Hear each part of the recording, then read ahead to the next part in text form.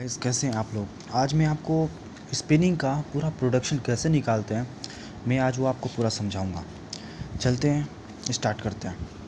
Guys मैं आपको यहाँ पे दिखा दे रहा हूँ, ये कार्डिंग ब्रेकर और आरएसबी जो है, इन तीनों का एक ही फार्मूले से हम लोग प्रोडक्शन निकाल सकते हैं। तो फार्मूला आपका ये है सिक्सटी इंटू एट जो आपको सामने ही पूरा दे रहा है स्पीड इफिशेंसी परसेंटेज है टू पॉइंट टू इंटू आठ सौ चालीस इंटू है। ये आपका फार्मूला ओके साठ का मतलब होता है अपना, जैसे मिनट में, आठ का मतलब आठ घंटे का, यानी कि आठ घंटे के पूरा हमारा प्रोडक्शन आएगा। स्टार्ट करते हैं। कार्डिंग हो ब्रेकर हो, चाहे आरएसबी इस तीनों का एक ही फार्मूला लगेगा। ईजी है। जैसे आपको पता होनी चाहिए मशीन की स्पीड कितनी चली है। मैंने एग्जांपल में ले रखा है 160 एम ओके उसका हैंग कितना पता होना चाहिए आपको? Zero point one two five मैंने एग्ज़ाम्पल में हैंग के लिए आप प्रोडक्शन कैसे निकालते हैं? गैस मैंने यहाँ पर फार्मूला लिखा है ओके फार्मूले में मैंने सिक्सटी एट लिखा है वन पॉइंट जो स्पीड देखिए। स्पीड यहाँ पे सिक्सटी वन सिक्सटी तो मैंने वन सिक्सटी रख दिया। इफिशेंसी जो भी कंपनी के थ्रू आपको दिया जाता है, किसी का कहीं कहीं पे 95 होता है, कहीं 98 होता है तो मैंने यहाँ पे 98 इफिशेंसी ले लिया है। और नीचे देखिए 2.2 840 हैंक जो अपना यहाँ पे हैंक है, मैंने वहाँ पे पुट कर दिया, ठीक है?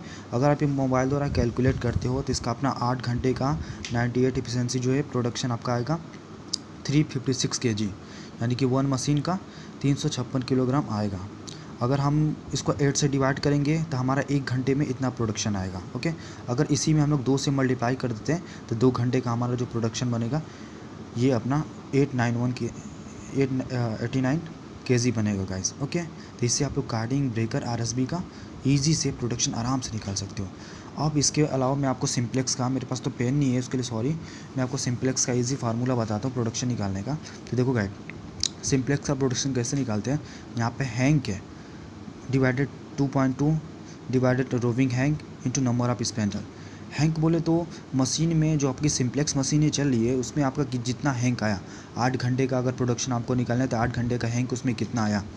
नाइन पॉइंट थ्री सिक्स आया, या फिर टेन पॉइंट वन ज़ीरो कुछ भी आया आठ घंटे का, या फिर दो घंटे का प्रोडक्शन निकालते हो तो टू पॉइंट फोर सिक्स ऐसा कुछ आएगा गाइस ओके तो जैसे हैंग है तो आपको आठ घंटे का प्रोडक्शन निकालना है। तो हम मशीन को आप देखिए कि सिंप्लेक्स में आठ घंटे का अपना हैंग कितना आया तो वहाँ पे वो उसको रखना है डिवाइडेड टू पॉइंट टू करना है, फिर divided roving hank roving hank roving hank बोले तो हर सिंप्लेक्स मशीन में सेट किया रहता है कि आपका जो सिम्प्लेक्स मशीन है आपका जो हैंग क्या बनाना है, रोमिंग हैंग आपको क्या बनाना है? ज़ीरो पॉइंट नाइन सिक्स का बनाना है कि ज़ीरो पॉइंट सेवन फाइव वो काउंट के अकॉर्डिंग रोमिंग हैंग सेट करते हैं उसमें ओके तो वो चीज़ आपको वहाँ पर रोमिंग हैंग रख देना है, जो भी आपको डिस्प्ले में साफ़ साफ़ सामने दिखेगा। और नंबर ऑफ़ स्पेंडल यानी कि एक सिम्प्लेक्स मशीन में कितने स्पेंडल है? 160 है तो 160 यहाँ पर पुट इन करना है, ठीक है? तो याद रखना, मैं एग्जांपल में, जैसे आपका आठ घंटे का एग्जांपल में टेन आ गया तो ten divided by two point two into roving hank में ज़ीरो पॉइंट नाइन सिक्स ले लूँ into number of spindle simplex में एक सौ साठ स्पेंडल है तो सबको लेके मैंने कैलकुलेट किया, जो भी आएगा गाइस वो हंड्रेड परसेंट एफिशिएंसी पे आएगा। और उसमें अगर आपको एफिशिएंसी नाइन्टी फाइव है तो उसमें जितना आएगा, आप नाइन्टी फाइव से या जो भी एफिशिएंसी आप रखना चाहते हैं नाइन्टी एट से परसेंटेज मल्टीप्लाई करके आगे परसेंटेज लगा दीजिएगा। वो आपका आठ घंटे का जो भी आप निकालना अच्छा था आराम से आ जाएगा। Okay, thank you so much. अगर आपको कोई भी कमी लगती है तो आप मुझे कमेंट करिए। मैं उसको और अच्छी तरह आपको समझाऊँगा। Thank you.